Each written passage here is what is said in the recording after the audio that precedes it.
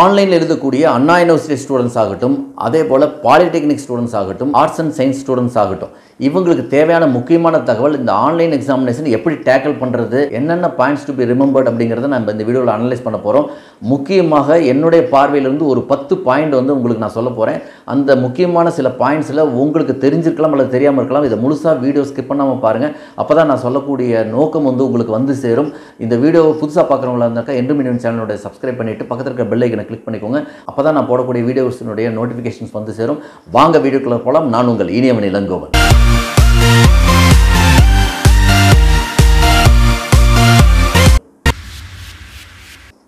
Online எக்ஸாமினேஷனாக பயப்படக்கூடிய நிறைய பேருக்கு நான் ஒரே ஒரு தெளிவான விஷயம் சொல்கிறேன் இந்த ஆன்லைன் எக்ஸாமினேஷன் ஒரு மினிமம் மார்க் நடக்குது. உங்களுக்கு பேக் பெர்ஃபார்மன்ஸை ப்ரீவியஸ் பெர்ஃபார்மன்ஸை பொறுத்த வரைக்கும் அதிக மதிப்பெண்களும் உங்களுக்கு நடத்தக்கூடிய இந்த ஆன்லைன் தேர்வுக்கு ஒரு மினிமம் மதிப்பெண்களும் தான் கொடுப்பாங்கிறது என்னுடைய நம்பிக்கை. ஸோ நான் ஏற்கனவே சொன்ன செவன்ட்டி தேர்ட்டி ஃபார்முலாவை இதை அப்ளை பண்ணுவாங்கங்கிறது என்னுடைய நம்பிக்கை. ஸோ அதனால் நிச்சயமாக தைரியமாக நீங்கள் எழுதலாம். ஸோ ஆன்லைனில் நீங்கள் எக்ஸாமினேஷன் எழுதுறீங்கன்னு சொன்னால் நான் சொல்லக்கூடிய பத்து பாயிண்டில் ஃபஸ்ட் பாயிண்ட் இம்பார்ட்டன்ஸ் எது கொடுக்கணும்னா இந்த ப்ரீவியஸ் த்ரீ இயர்ஸ் கொஸ்டின் பேப்பர்ஸ்க்கு கொடுங்க. ரெண்டாவது பாயிண்ட் எது அப்படின்னாக்கா உங்களுக்கு தேவையான ஆண்ட்ராய்டு மொபைல் உங்ககிட்ட இருக்கா? அதில் கேம் ஸ்கேனர் அல்லது டாக்குமெண்ட் ஸ்கேனர் உங்கள் கையில் இருக்குதான்னு செக் பண்ணிக்கோங்க. அதே போல் அதை ஃபுல்லாக சார்ஜ் பண்ண முடியுதா? அதில் ஏதாவது ப்ராப்ளம் இருக்கா? மெயில் வந்து சேருதா? வாட்ஸ்அப் வந்து சேருதா? இதெல்லாம் ப்ராப்ளம் இருக்கா அப்படிங்கிறத செக் பண்ணி வச்சுக்கோங்க. மூணாவது வாட்ஸ்அப்லேயோ அல்லது மெயில்லையோ உங்களுக்கு வந்து சேர்ந்தால் அதை டவுன்லோட் பண்ணுறதுக்கும் அதே போல் அப்லோட் பண்ணுறதுக்கும் உங்களுக்கு தெரிஞ்சிருக்கான்னு பாருங்கள் அதுக்கு என்ன தேவையோ அதை நீங்கள் வந்து இப்போயே தெரிஞ்சு வச்சுக்கோங்க. அதே போல் அதுலேயே வந்து நெட் கனெக்ஷன் உங்களுக்கு இருக்கான்னு பார்த்துக்கோங்க. ஆக்சுவலாக ஒரு நாளைக்கு வந்து நீங்கள் டூ ஜிபி வந்து தேவைப்படும் அப்படிங்கிறதையும் நெட் கனெக்ஷனில் உங்களுக்கு என்ன ரீசார்ஜ் பண்ணுறதுனா பண்ணி வச்சுக்கோங்க. அதே போல் ஸ்பீடு இருக்கான்னு பார்த்துக்கோங்க. உங்கள் வீட்டில் ஃபுல் டவர் இருக்கக்கூடிய இடம் எதுன்னு பார்த்து வச்சுக்கோங்க. நாலாவது நீங்கள் வாங்க வேண்டிய பொருட்களில் முக்கியமானது ஏ ஃபோர் சீட் இருக்கு இல்லைங்களா? அது வந்து ஜெராக்ஸ் பேப்பர் வந்து நீங்கள் விற்பாங்க டிபார்ட்மெண்ட் ஸ்டோரில் போய் கேட்டிங்கனாக்கா தருவாங்க. அதை வாங்கிக்கோங்க. அதை வாங்கி அந்த பண்டில் இருக்கக்கூடிய பேப்பர்ஸ் இருக்குங்களா அதில் நீங்கள் வந்து என்ன மாதிரி அவங்க ஸ்கிரிப்ட் சொல்கிறாங்களோ அதை மாதிரி தான் நீங்கள் எழுதணும். நீங்கள் லெஃப்ட் சைடில் மார்ஜின் விட சொல்லுவாங்க. கண்டிப்பாக விடணும். மேலே ரிஜிஸ்டர் நம்பர் அதே போல் உங்களுடைய கையெழுத்து இது மாதிரி இருக்கும். அந்த விஷயங்களை வந்து நிச்சயமாக சப்ஜெக்ட் கோடு அல்லது பேஜ் நம்பர் இது மாதிரிலாம் கேட்டிருப்பாங்க. அதை நீங்கள் கரெக்டாக ஃபில் பண்ண வேண்டியிருக்கும். எத்தனை பக்கம் தேவையோ அத்தனை பக்கத்தினுடைய பேப்பர்ஸ்குள்ளாரே உங்களுடைய விஷயங்கள் அடங்கணும். சில எக்ஸாமினேஷன் பார்த்தீங்கன்னா ஆறு பக்கம் சில எக்ஸாமினேஷன் நாலு பக்கம் சிலது வந்து பதினெட்டு பக்கம் சிலது முப்பத்தாறு பக்கம் சிலது நாற்பது பக்கம். யூனிவர்சிட்டி காலேஜுக்கு காலேஜ் வித்தியாசப்படும். ஸோ அதனால் எந்த எக்ஸாமினேஷனும் நீங்கள் எப்படி எழுதுறீங்களோ அத்தனை பேஜஸ் தான் எழுதுங்கிறத மனசில் வச்சுக்கோங்க. பஞ்சிங் மிஷினில் வந்து ஓரத்தில் வந்து போட்டுட்டு அதில் நீங்கள் நூல் கட்டுற மாதிரி இடம் விட்டுக்கோங்க.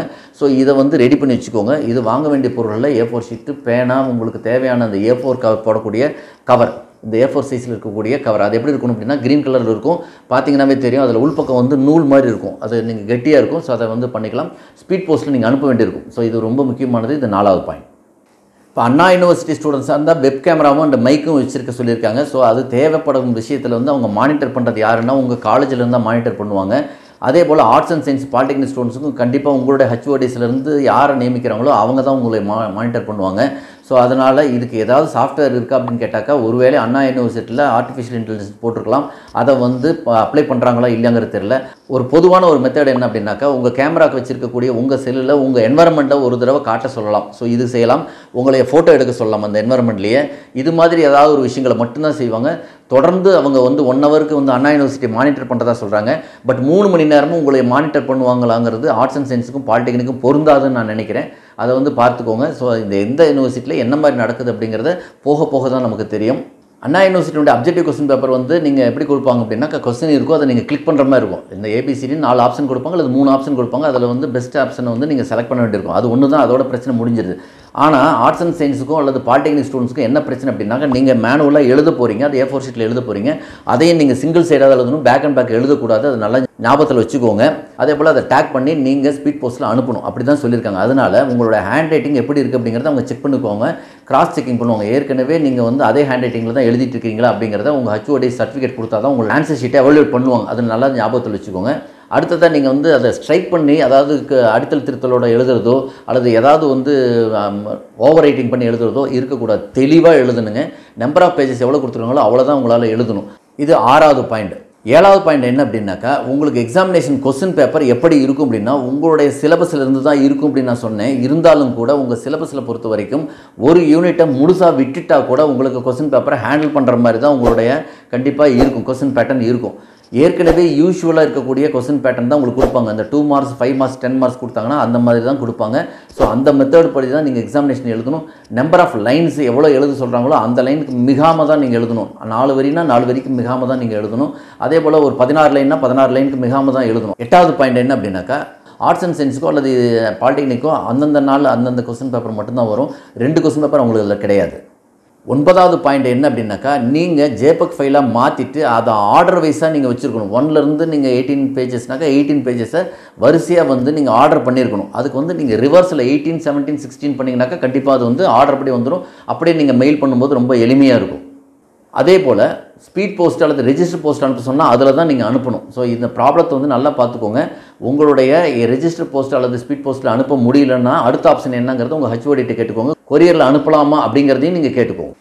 பத்தாவது ரொம்ப முக்கியமான பாயிண்ட் என்ன அப்படின்னாக்கா நீங்கள் என்ன அனுப்புகிறீங்களோ அதை ஸ்கேன் பண்ணி அனுப்புங்களோ அதை எவல்யூட் பண்ண மாட்டாங்க. ஒன்லி ஜஸ்ட் ஃபார் வெரிஃபிகேஷன் அதில் ஒரு சின்ன வார்த்தை கூட உங்களை சேர்க்கக்கூடாது அப்படிங்கிறத பார்ப்பாங்க. நீங்கள் என்ன மேனுவலாக வந்து எழுதிருக்கீங்களோ அந்த ஹேண்ட் ரைட்டில் எழுதின காப்பியை தான் எவல்யூட் பண்ணுவாங்க. அந்த எவல்யூஷனும் எப்படி பண்ணுவாங்கன்னா லிபரலாக பண்ணுவாங்க. அதனால் நல்ல மதிப்பெண்கள் கிடைக்கிறதுக்கான வாய்ப்புகள் இருக்குது நான் சொன்ன செவன்ட்டி தேர்ட்டி ஃபார்முலா வருவதற்கான நிறைய சாத்தியக்கூறுகள் இருக்குது என்ன எக்ஸாமினேஷன் எழுதுறீங்களோ அதுக்கு தேர்ட்டி பர்சன்டேஜும் உங்களுடைய ப்ரீவியஸ் பர்ஃபார்மன்ஸ்க்கு எவ்வளோ இருக்கோ அதை செவன்ட்டி பர்சன்டேஜும் வச்சு தான் வந்து எக்ஸாமினேஷன் பேட்டர்னை நடத்தி முடிப்பாங்க. உங்களுக்கு ரிசல்ட்டும் குயிக்காக வந்துடும் அதனால் எந்த விதமான பயமோ பதட்டமோ இந்த ஆன்லைன் எக்ஸாமினேஷன் எழுதுறவங்களுக்கு தேவையில்லை அப்படிங்கிறத இந்த வீடியோவில் நான் பதிவு பண்ணியிருக்கிறேன். ஸோ அதனால் உங்கள் ஃப்ரெண்ட்ஸுங்களுக்கு இதை ஷேர் பண்ணுங்கள் புதுசாக பார்க்குறவங்களா இருந்தால் என்றும் இனிமேல் சேனலுக்கு சப்ஸ்கிரைப் பண்ணுங்கள் அடுத்த வீடியோவில் உங்களை சந்திக்கிறேன் என்றும் இனியவன்.